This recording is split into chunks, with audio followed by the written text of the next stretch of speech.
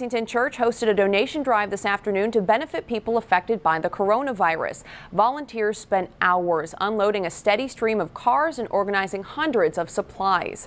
LEX 18 Sophia Millar shows us how it worked. At Emmanuel Baptist Church today, church members are masked up, gloved up, and serving others.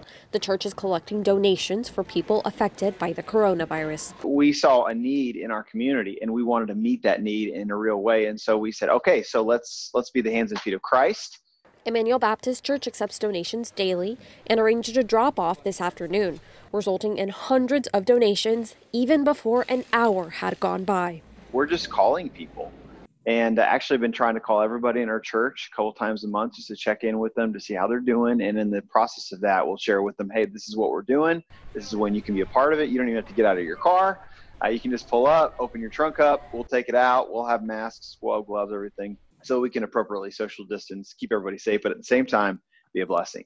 Throughout the afternoon as one car left another three pulled up. And inside volunteers were hard at work Every time a loaded car rolled into the room, volunteers organized them on top of dozens of tables. If they weren't helping with that, then they were in the corner, tipping boxes. We continue to say, hey, you know, Jesus, he stepped out of heaven, he came to earth, he served. We want to serve. We want to serve Lexington because that's what we're called to do as Christians.